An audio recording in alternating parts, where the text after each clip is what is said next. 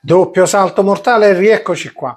Mi ero dimenticato di collegare eh, il microfono esterno, che è molto utile perché altrimenti rimbomba, fa degli effetti strani, è meglio evitare.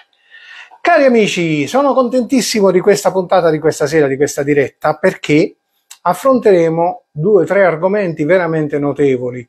Uno vastissimo che è quello della semola, cercheremo di addensarlo in poche preziose informazioni e poi parleremo a lungo della, del mio prodotto di punta, diciamo quello che mi ha in qualche modo dato le maggiori soddisfazioni, che è questo ragazzi, guardate, guardate, è questo, guardate che bellezza, eh?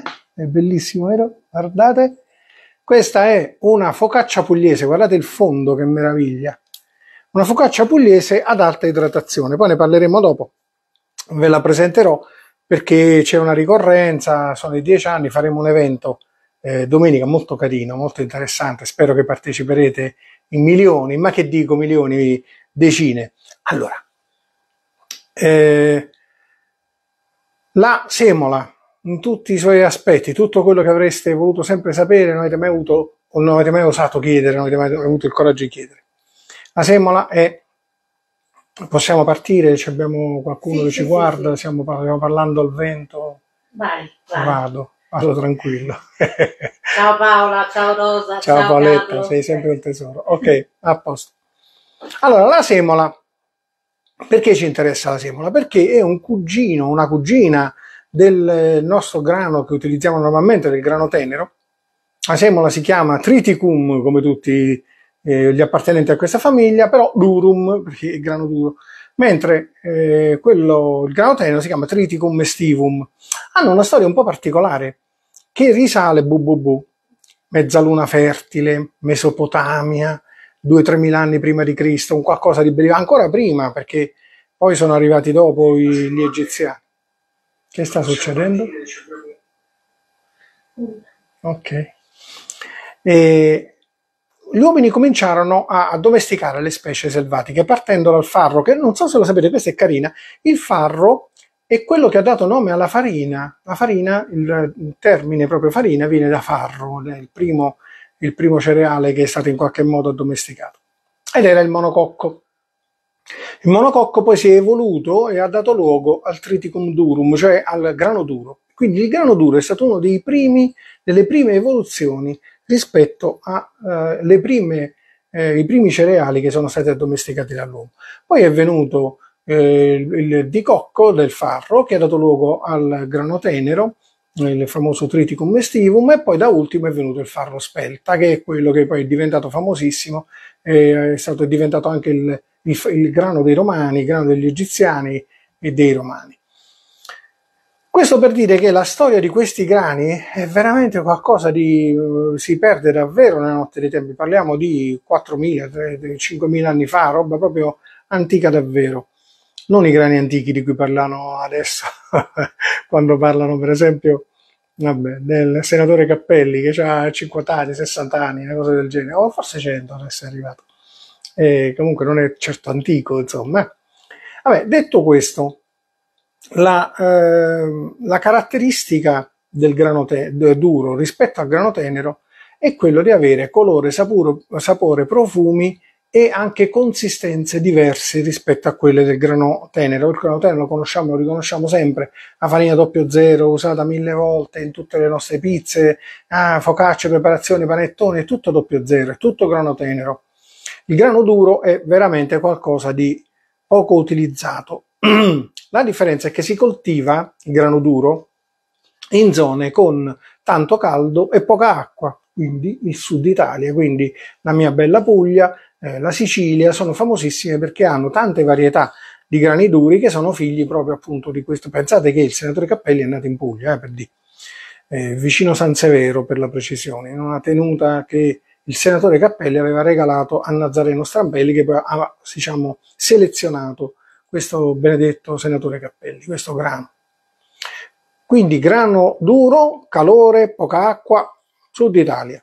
Grano tenero invece vuole temperature più fresche e molta acqua per, la, per lavorare bene, per crescere bene e quindi ecco che il nord Italia, la Panora Padana, sono proprio naturalmente elette per fare i grani teneri. Una grandissima parte dei grani teneri italiani proviene dalla pianura padana o da piccole altre fasce e zone del, della nostra bella Italia. Quindi, una volta capito questo, cerchiamo di capire dove sono le somiglianze e le differenze. La differenza sta nel fatto che eh, mentre il grano eh, tenero viene utilizzato perché ha un effetto piuttosto raffinato al nostro palato, la farina 00 ha un effetto molto molto setoso eh, in bocca, la, brioche, tutte le preparazioni dolci, pensate ai cornetti, ai croissant, sono tutti par- particolarmente raffinati. La semola invece ha una caratteristica molto peculiare, che è quella di eh, presentarsi al palato con un, una sensazione eh, rustica, una sensazione un po' polverosa, un po' eh, non finissima, diciamo così. E questa è caratteristica proprio specifica della semola eh, di grano duro, del grano duro. Quindi quando noi mangiamo la focaccia pugliese normalmente ci aspettiamo qualcosa che al morso ha grande sapore, grandi profumi, però al morso mantiene una certa rusticità. Ecco perché si fanno quelle focacce con i pomodoroni spiaccicati sopra che affondano, è molto bella per l'amor di Dio, anzi è una cosa che è molto attraente a vedersi, però chiaramente non ha quella eleganza che può avere per esempio una brioche, che è una brioche di grano duro non è normalmente fatta da nessuno il grano duro, fra l'altro, ha dato luogo poi a tutta una serie di eh, strane leggende, storie particolari. Per esempio, vi ricordate la farina dei faraoni, no? Il Kamut, quella famosa farina dei faraoni che dicevano, hanno creato questa leggenda, creata d'arte eh, da un fantastico eh, servizio commerciale che ha fatto un lavorone, si sono inventati che hanno trovato il grano duro nelle tombe dei faraoni e quindi grano antichissimo, fai riesumato, da migliaia di anni imbalsamato e fatte le mummie di grano. Ecco, queste cosette in realtà è grano Khorasan, che è una varietà di grano duro eh, di ottima qualità, però non ha niente a che vedere con i faraoni, non c'entra proprio un bene amato niente con queste storie antiche. La cosa positiva è invece che il grano duro fa parte della nostra storia d'Italia in maniera molto importante. In maniera molto importante perché eh, allora, voi non so se avete mai sentito parlare del grano arso. Il grano arso è una varietà di grano duro, è una varietà, è un tipo, è un grano che è stato poi tostato fino a diventare eh, un po' nocciola e avere, assumere poi macinato, assume quel profumo di eh, fumo, fumicatura classico del grano arso. E questo è un qualcosa a cui i palati che sono abituati a questo profumo trovano irresistibile nella mia zona di Foggia era conosciutissimo il grano arso, si faceva proprio una, una pizza speciale, una pizza a forno aperto col grano arso, che era un grano appunto eh, particolarmente sapido, molto forte, intenso di sapore. Come si otteneva questo grano arso? E perché era arso? Perché vedete, la Puglia ha queste dimensioni, queste distese di pianure infinite dove veniva coltivato il grano. Quando si arrivava al mese di maggio, giugno, che si finiva di raccogliere il grano, una tradizione antica voleva che il grano, quel che rimaneva delle stoppie di grano, cioè quella parte terminale della, eh, diciamo, basilare della spiga, della, dello stelo, che rimaneva attaccato al suolo, venisse bruciato, venisse appiccato al fuoco, perché si era convinti che la cenere di, queste, di questi steli, queste stoppie, che si, te, si chiamano tecnicamente così, fossero in qualche modo, potessero arricchire il terreno. Poi si è scoperto dopo, dopo tanti anni, da poco, relativamente poco, che la bruciatura delle stoppie uccideva tutta quella parte superficiale eh, dei batteri, delle forme di vita che abitano nel nostro terreno, con il risultato di essere più dannosa che utile e quindi in qualche modo, fra l'altro, poi portava tutta una serie di danni, incendi che partivano da parte, non si sa dove andavano a finire, si partivano. Poi ragazzi, voi dovete pensare, io me lo ricordo, eh, la nostra Puglia era, diventava nera, il cielo non si vedeva più, sole scompariva, era tutto bruno, era tutto scuro, sembrava un'eclissi solare, una cosa, una scena apocalittica da inferno dantesco. Ecco, quella era la nostra Puglia quando si appiccavano i fuochi alle stoppe. Potete immaginare che distese, che vastità, che dimensioni enormi avevano questi falò, questi fuochi.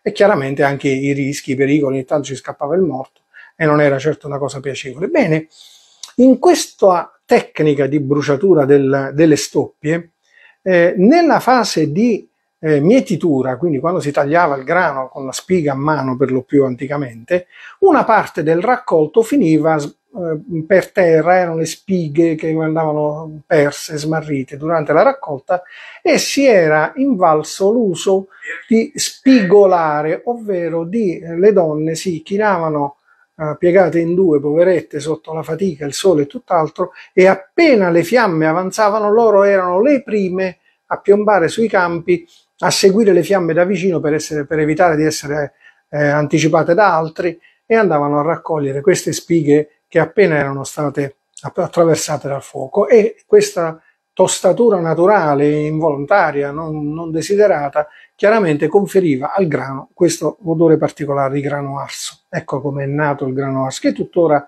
oggi viene tostato artificialmente, ovviamente, però esiste tuttora. All'epoca c'era un, um, uno scambio del grano arso con il grano bianco, veniva chiamato, eh, di 3 a 1, quindi si davano 3 kg di grano arso per averne uno di grano bianco, quindi pensate quanto fosse caro, costoso, da ricchi avere il grano bianco nelle proprie case. Ecco perché per tanti anni abbiamo diciamo, privilegiato la doppio zero che ci sembrava qualcosa di fantastico. Oggi sappiamo bene che ha dei problemi e quindi è preferibile altro tipo di farina, uno, due, integrale, quello che sarà. Ora, detta questa cosa che è carina, le nostre povere eh, signore che facevano questo lavoraccio, eh, dobbiamo invece vedere che cosa può nascere dal nostro grano duro. Allora, nei mix di farina che spesso si fa, alcuni, soprattutto nelle pizze napoletane, ma anche nelle teglie, aggiungono una quota percentuale di grano duro rispetto alla farina eh, di grano tenero, quella bianca, chiamiamola così. Questa percentuale varia da un minimo del 5 fino a non più del 20%, non ne consiglio un aumento maggiore, e serve per dare un apporto di croccantezza, aumenta la croccantezza eh, della superficie del bordo della, della, nostra pizza, ne aumentano i profumi e i sapori perché il grano duro ha un apporto di sapori e di profumi pazzesco. Eh, quando si parla del grano di Altamura o del, grano di, del pane di Altamura o del pane di Matera, come di pani particolarmente pregiati per il loro apprezzati, per il loro gusto e il loro profumo, è dovuto al fatto che sono realizzati integralmente con farina di grano duro. Quindi quando noi dobbiamo fare un mix di farine nelle nostre pizze non andiamo oltre il 20%. Il che non vuol dire che non è possibile, che non sia possibile fare una pizza esclusivamente di grano duro, anzi è una cosa bellissima che consiglio di provare almeno una volta nella vita perché è qualcosa di spettacolare. C'era il nostro amico Marco Merlino, che molti forse ormai non, non ricordano più tanto perché poverino, tra virgolette, è diventato primario al suo ospedale, è responsabile di non so quale settore importante, quindi è diventato un camice bianco potentissimo e ovviamente i tempi per lui per, per godersi una bella pizzata si sono parecchio ridotti e mi dispiace di questo, però buon per lui, che Dio lo benedica a vita proprio quel bravo ragazzo. Ok, tornando a noi. Fare una farina, una pizza tutta integralmente in grano duro è una cosa che dovete provare a fare. Marco ne faceva di bellissime, sia napoletane che teglie, quindi riusciva a sviluppare anche un'alveolatura di una certa importanza e otteneva qualcosa di apprezzabilissimo, nella quale non era, diciamo, molto seguito. Lui poi ci teneva particolarmente perché aveva dei campi che aveva eh, coltivato a grano duro e che aveva dedicato esclusivamente per farsi la farina per sé e per le proprie pizze. Quindi pensate che livello di aberrazione raggiungiamo noi ragazzi della confraternita, è bellissimo. Ora, eh, un'altra notizia molto particolare, molto carina del, della nostra eh, pizza di grano duro è la storia di Nazareno Strampelli, cioè di quel famoso eh, senatore Cappelli Dovete pensare alla fine del, dell'Ottocento, primi del Novecento, Nazareno Strampelli era una persona aveva uno studioso che aveva approfondito lungamente gli aspetti legati alla coltivazione del grano, quando la coltivazione del grano dava 10-12 quintali per ettaro, che è una, un valore molto basso rispetto a oggi. E non ve lo dico oggi quanto fanno perché sennò vi piglia, però ecco, diciamo che era proprio bassissimo eh, lui riuscì a, attraverso la selezione, si recava sui campi di grano col suo bel banchetto, la sua eh, panchina piccolina, si sedeva e cominciava a fare subito l'inseminazione, l'incrocio fra i vari tipi di grano per selezionare un tipo di grano che avesse una produttività maggiore rispetto a quella a cui eravamo abituati. E ci riuscì. Fu aiutato in questo da un senatore del, del regno, perché all'epoca eravamo sotto i, i Savoia, e il senatore eh, si chiamava eh, Cappelli, tra l'altro adesso vi dico una cosa strana, senatore Cappelli, che adesso è morto ovviamente, ha abitato tutta la sua vita a 200 metri sopra casa dove sto, da cui vi trasmetto adesso, dalla sua piccola villetta, mica tanto piccola, e, e ogni mattina veniva eh, alla messa alle sette e mezza, alle otto, non mi ricordo, con la sua bella Rolls Royce, lui e la sua famiglia, il cravattino, il pavillon, si sedeva silenzioso, sempre inappuntabile, ascoltava la messa e poi andava via. E lui era quel famoso senatore Cappelli a cui Nazareno Strampelli aveva dedicato questo grano. Perché gliel'aveva dedicato? Perché il senatore Cappelli, molto carinamente, aveva regalato a Nazareno Strampelli, quando faceva i suoi studi, aveva regalato un appezzamento di terra vicino Foggia, che era in zona ideale per la coltivazione del grano duro, e ha regalato questo terreno, lui lì aveva fatto tutti i suoi esperimenti fino a raggiungere questa benedetta selezione perfetta, ottimale del grano eh, che fu intestato appunto a questo senatore Cappelli per ringraziarlo della sua generosità. La cosa carina, ragazzi, è che all'epoca, grazie a questa selezione, la produttività del grano passò di un colpo da 10-12 quintali a 30, 30 quintali, anche qualcosa in più a ettaro. Era un triplicare i nostri prodotti ed era quello che aspettava all'epoca c'era Mussolini. Mussolini aveva eh, su, ricevuto delle sanzioni dalla comunità internazionale e quindi eh, cercava l'autarchia, chiamava lui, cioè l'autonomia alimentare. Quindi eh, dibattendosi, aveva saputo di questo eh, Nazareno Strampelli, che nel frattempo era diventato eh, professore universitario, ma senza paga, costo zero, cioè questo non prendeva una lira, sto poveretto, era veramente un grand'uomo. E aveva saputo di questi suoi successi lo andò a incontrare, gli chiese se era disponibile a, fare una battaglia del grano per convincere i contadini in tutta Italia a piantare il senatore Cappelli, ovviamente quello ci stette e partì la campagna del grano, la battaglia del grano di Mussolini, che però già si sapeva avrebbe avuto un, un effetto cioè, positivo, che avrebbe determinato l'autonomia italiana nell'importazione del grano, avrebbe azzerato le importazioni dall'estero. E questo fu solo un merito di Nazareno Strampelli, per il quale quel poverino di Nazareno Strampelli, sappiate che Strampelli fu osannato, portato in tutte le processioni, gli diedero onorificenze, mi pare che diventò anche lui senatore, e tutto quanto, però si rifiutò sempre di iscriversi al partito fascista e per questo fu colpevolizzato dal, dal fascismo e fu abbandonato al suo destino senza una lira, come era il destino delle persone per bene, e avendo poi senza il riconoscimento di quello perché era stato dimenticato, perché aveva aiutato Mussolini. Quindi da una parte c'erano i comunisti incazzati perché aveva aiutato Mussolini, dall'altro Mussolini incazzato perché non si era iscritto al partito fascista, sto povero Nazareno Strampelli, che tanto bene aveva fatto, è rimasto un eroe dimenticato. Tenete presente che i grani che ancora oggi si utilizzano in Cina, in Russia, mm, non ne parliamo, eh, cioè le, il Creso, Mida, i loro fratelli e figli, sono tutti figli di quel Nazareno Strampelli e di quel suo grano senatore Cappelli, che aveva un solo difetto, era alto due metri. Aveva uno stelo lunghissimo, il che vuol dire che quando pioveva, mi ricordo mio nonno che diceva si è allettato il grano, tutto terrorizzato, si è allettato. Allettarsi significava quando il grano si stendeva su un, fiato, su un fianco sul, sul terreno e diventava poi difficilissimo con le macchine dell'epoca andarla a mietere, quindi diventava un problemone quando si allettava il grano. E a quell'altezza, con 1,80 m di grano, chiaramente era facile un colpo di vento, una pioggia, un temporale e il grano andava giù. Quindi questo era l'unico difetto, per questo hanno fatto poi Crese e Mida, che hanno dimensioni molto molto più ridotte e sono molto più comodi da utilizzare per le macchine mietitrici, mietitrebbi, eccetera. Ecco, adesso sapete un po' la base. Vi ho detto prima che incrociando, diciamo, facendo i mix delle nostre eh, belle pizze è possibile aggiungere una quota di grano duro e ve lo consiglio perché dopo un po' scoprirete che il grano tenero non è che proprio faccia impazzire e rimanga l'unica soluzione, si verrà la tentazione di provare a aggiungere altre cose dal farro a altre, che ne so, la, la curcuma, la canapa, la canapa porta tante tentazioni e porterete soprattutto la, un grano duro. Provateci con la semola perché veramente di soddisfazione. Bevo.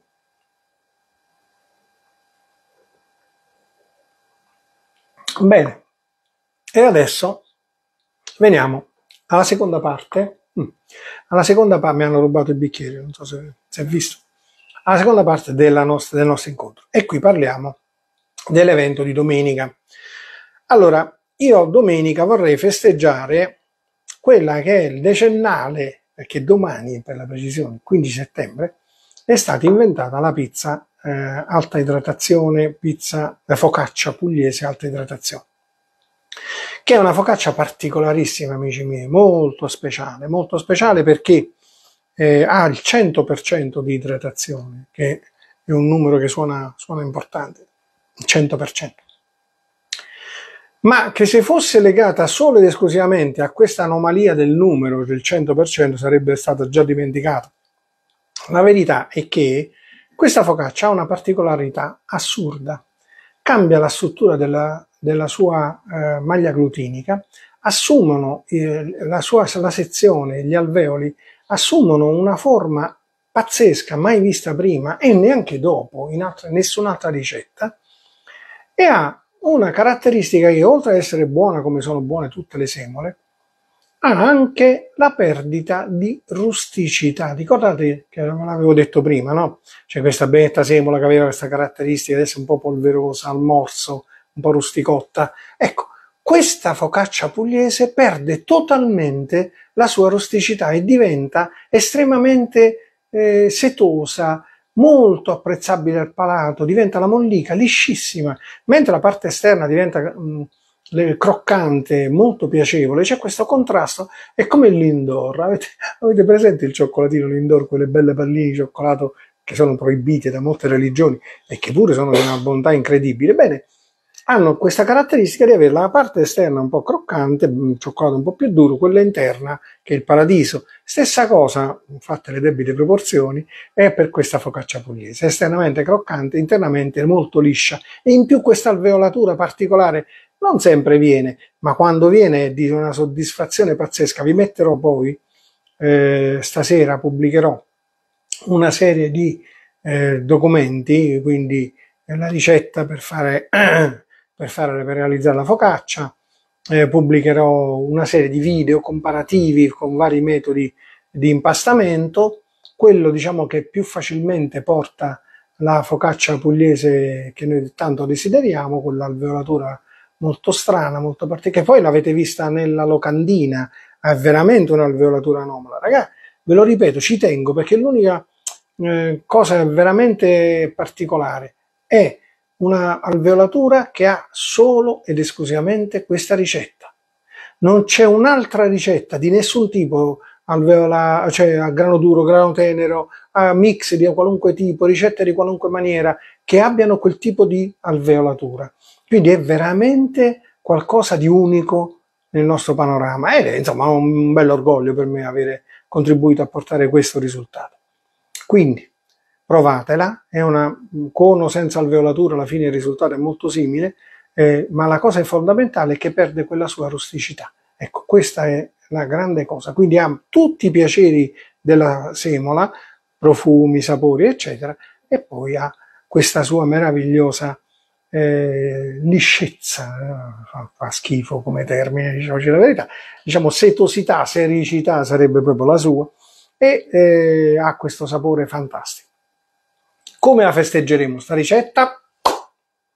Domenica. Domenica prossima, domani è l'anniversario ufficiale, ma domenica prossima noi faremo un evento molto carino in cui uh, faremo una serie di interventi. Faremo un impastiamo tutti assieme, io vi darò, pubblicherò già il venerdì sera, pubblicherò un video dove c'è proprio le modalità per la realizzazione, quelle ottimali per la realizzazione del 100% con la planetaria. Ecco, questa ragazza ve lo devo dire, purtroppo la semola fra le sue caratteristiche ha quella di non essere eh, soggetta al non-id.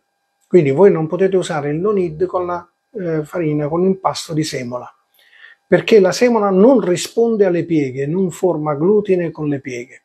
Oddio, c'è stato un ragazzo, Sandro Notaro si chiama, che nel forum alla fine, dopo tanti tentativi, riuscì a mettere a punto il non-id per la semola, ma era qualcosa che si sviluppava lungo intere giornate. Voi dovete pensare che lui cominciava e ci metteva due o tre giorni per realizzare il non-id, perché le pause fra una piega e l'altra dovevano essere lunghissime, probabilmente perché proprio il grano duro aveva quella difficoltà a far entrare l'acqua, a far formare il glutine, non lo so, comunque sia, normalmente non funziona.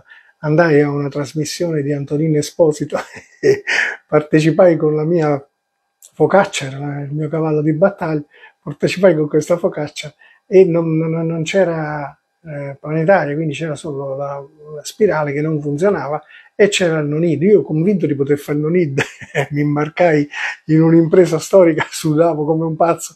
Mi ricordo che c'erano Sergio Maria Teotorica e Cristina Lunardini preoccupatissimi. Poi per fortuna le cose riuscimmo a sistemarle con vari stratagemmi. La pizza, la focaccia venne benissimo e facemmo una bella figura per fortuna, eh? non era proprio scontato, eh? andò bene proprio per il rotto della cuffia. Comunque, sabato pubblicheremo, o venerdì sera, pubblicheremo il video di come si fa l'impasto fatto bene, col gancio, che voi sapete, io con la foglia sono sempre molto privilegio la foglia, ma questa volta è meglio il gancio, quindi useremo il gancio, eh, che poi è curiosa sta cosa, poi ne parleremo nel video. E faremo, vi farò vedere ogni singola fase, dopodiché a partire dalla giornata di domenica per un'intera settimana voi avrete la possibilità di postare questa ricetta. Questa ricetta poi verrà votata con i like. E chi becca più like beccherà un regalino di farina, faremo arrivare la farina. E questa volta, questa è la sorpresa, faremo arrivare la due priori, che è una farina molto particolare, voi lo sapete, mh, cioè sono arrivate tantissime, sfiancanti richieste di averla due priori. E fino ad oggi abbiamo un po' eh, cercato di mantenerla riservata agli esperti, però chi riesce a fare sta focaccia e impasta un 100%, proprio un pippone non deve essere, diciamo, quindi, quindi una bella farina due priori se la merita e quindi noi riusciremo a darla. Eh, regaleremo la due priori 10 kg eh, e daremo per ciascuna delle tre categorie, faremo tre categorie eh, una è la farina, è la migliore focaccia dall'aspetto complessivo, una è la migliore sezione che dovrà in qualche modo replicare se gli andrà bene, perché ripeto, non è assolutamente scontato, manca a me, a volte viene, a volte no, e quell'alveolatura molto strana della focaccia, eh, alta idratazione, e poi la terza sarà per il miglior condimento. Quindi avremo tre sezioni diverse, chi becca più like o si presenta in uno, in altro, in un'altra, e noi faremo, eh, diciamo, apriremo le danze e faremo votare con i like. In aggiunta a questo, un piccolo gruppo di noi, eh, degli amministratori del forum, quindi con Chiara, Rita, Dani, eh, Francesco Priori, eccetera, eh, daremo un'occhiata, Cesare, daremo un'occhiata alle pizze migliori, quelle che poi nell'insieme sono risultate più particolari, più belle, e rilasceremo un timbro particolare di benemerenza che potrà essere applicato su queste foto e diciamo che saranno come una piccola medaglietta per coloro che sono risultati diciamo un po' più bravi in questa lavorazione. Quindi noi domenica dedicheremo l'intera giornata a questo evento, eh, sabato, venerdì pubblicheremo il video, sabato faremo una piccola diretta o domenica mattina? No, è domenica mattina. Domenica mattina faremo una diretta per eh, dare tutte le informazioni a coloro che avessero dubbi o perplessità o altro. dare qualche suggerimento per i condimenti, no? Per i condimenti presenteremo quelli che sono i nostri condimenti, ma poi ovviamente sarete liberissimi di, fare, di scegliere i vostri, ma soprattutto di dare ausili a chi ha cominciato a impastare e si è trovato un pochino in difficoltà. Quindi daremo una mano a tutti. Tenete presente che resta un, un 100%, quindi non è un, un'impresa che passa inosservata, insomma è una cosetta abbastanza importante. Le parolacce aiutano? Le parolacce sì, le parolacce terribili sono di grande utilità, incortano, incortano che è una meraviglia. E poi ehm, domenica mattina faremo questo, domenica pomeriggio un'altra micro diretta per consigliare i condimenti, non so che altro. Ma che guarda, possiamo fare anche quella la mattina e poi direttamente la sera una mini diretta per vedere. Per ringraziare tutti, parlare dei risultati, vedere quello che sta succedendo, dare ulteriore aiuto a chi lo volesse e quindi andremo a chiudere la giornata dedicata alla focaccia pugliese ad alta idratazione, focaccia e priore, come la volete chiamare voi. Ragazzi, dovete riempire il web. Sì, mi piacerebbe tanto se ci fosse un qualcosa di particolare perché vi dico, è veramente speciale, è un focaccione eh, che vi cambierà la vita, può essere utilizzato in ogni occasione, sia per portarlo a tavola, al posto... Mia madre lo usava, la intingeva nel ragù e vi devo dire cioè, che sono delle perversioni notevoli ma nel ragù veramente è qualcosa che non ha uguali. Ma poi provate a immaginare una bella fetta in sezione tagliata e fatta a crosticina, fatta a bruschetta. Provate a immaginare con la burratina pugliese oppure con delle mousse, mousse a prosciutto alla... o semplicemente un triangolo tagliato in mezzo e farcito con una mortadella a, a pioggia proprio, tantissimo prosciutto, prosciutto crudo. Eh, lungo la strada Foggia Bari c'era un, una stazione di servizio che proponeva la focaccia non così, ma era un'altra, ma con delle fette di, di prosciutto crudo fantastiche, era qualcosa che ci si guardava negli occhi mentre si mangiava perché era proprio formidabile. Bene ragazzi, quindi domani eh, io comincio a mettere un po' di video. Eh, venerdì Partiamo col video ufficiale per l'incordatura, quindi quelli che pubblicherò domani non sono quelli che si potranno... Oddio, voi potete fare quello che volete, eh, potete usare anche questi più, diciamo, più semplici, perché ne ho fatti diversi. Ho fatto, poi lo vedrete, insomma, praticamente, ragazzi, io sono riuscito a fare il 100% di incordatura in poco più di 5 minuti.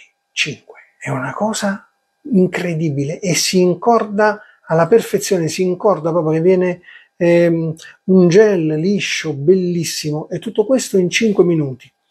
Il trucco sta, perché i tempi normali sono usando la foglia 13 minuti, usando il gancio 20 minuti, usando la foglia e l'autolisi, ecco, un'oretta di autolisi in frigo vi porta un risultato devastante di miglioramento dei tempi che scendono da 20 del gancio a 13 della foglia senza autolisi a 5 e poco più della foglia con autolisi. Sono veramente risultati bellissimi perché azzerano la fatica. Voi questa focaccia dovete pensare che ha eh, impastamento un'ora in puntata, un'ora e mezza circa in apprette e si cuoce, finita. È bellissima, è veramente di grande soddisfazione, veloce, comoda e buona. Più di questo non si può ottenere. Ok? Quindi amici miei, ci si vede allora, io ai ragazzi ho detto, perché me l'ha chiesto, aspetta un secondo. Intanto io bevo. Mi ha chiesto Giuseppe, mi ha detto domenica, domenica mattina a che ora? Io direi verso le 11, ci vediamo e ci facciamo una diretta di una mezz'ora. Sì, okay. so, fondamentalmente per diciamo, ehm, rispondere a tutte le domande che ci saranno sicuramente, ma io mi sono trovato... Ah, fondamentale ragazzi, la scelta della semola per fare questa farina è critica. Vanno fatte due cose, ve lo anticipo. Una acqua gelida, quindi parliamo di acqua a 4 gradi, limite congelamento. E l'altra la semola. Se usate una semola con poche proteine, difficilmente riuscirete a incordare e ottenere quel bel risultato. Dovete usare una semola con 14 di proteine, ce ne sono alcune anche 14,50, ma non mi ricordo la marca, ve lo confesso. Però 14 grammi, 14% di proteine, eh, lo trovate sia nella De Cecco, che è facilmente reperibile, ma anche la molisana, c'è quella macinata a pietra, c'è quella per pizza. Secondo me sono identiche, non cambia niente, hanno cambiato l'invasatura, perché vedevo che hanno la stessa struttura, quindi difficilmente, a meno che non cambiano le famiglie dei grani, ma dubito. Però sono anche, tutte e due sono 14 di proteine, quindi vi ritroverete sicuramente con un prodotto facilmente incordabile, gestibile, per quanto possa esserlo un 100% comunque. Quindi procuratevi la semola de cecco o la molisana, mettete l'acqua in frigo, lievito fresco, ragazzi, lievito di birra fresco, utilizzate il gancio, se volete provare anche con la foglia fatelo, tenete presente che la regina di, queste, di questa giornata sarà la planetaria, a mano non funziona, con la spirale si arriva al 100% ma non sempre, e insomma diventa un'impresa abbastanza memorabile, abbastanza logorante, devo dire. Qui io la, la spirale in questo caso la saluterei. Andate di planetaria e andate, divertitevi perché è una ricetta che vi darà tante tante soddisfazioni, vedrete. Ok?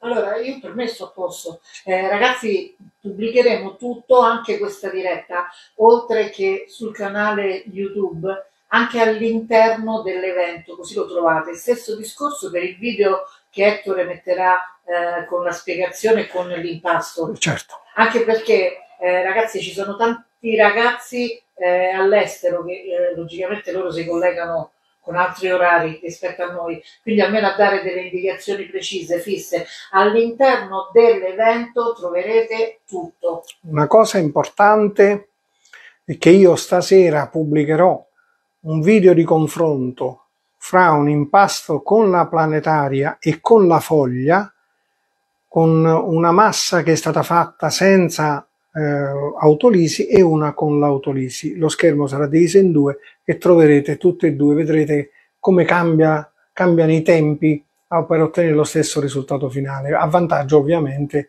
di chi ha fatto l'autolisi. Quindi quello è già qualcosa. Non sono quelle le tecniche che io consiglio per questa ricetta. Se volete fare quelle, benvenuti, fatele pure. Non sempre, eh, diciamo che non sono le migliori per ottenere il risultato di quell'alveolatura speciale che tanto tanto connota questa, questa cosa. In più, fra 10 minuti, appena finisco di parlare, eh, farò una raccolta di foto di questa focaccia e pubblicherò un post dedicato alla focaccia pugliese con praticamente solo le foto, niente altro, ma per farvi avere un'idea di come sono eh, l'alveolatura speciale che ha questa, questa focaccia, così avrete un'idea proprio visiva che vi darà conto. Abbiamo finito, mi pare, yes. vero? Oh, ragazzi miei, vi posso liberare da questa croce, vi ringrazio di essere stati così numerosi e così attenti e vi abbraccio tutti quanti, ci vediamo un bacione a domani. tutti. Ciao. Aspettate che...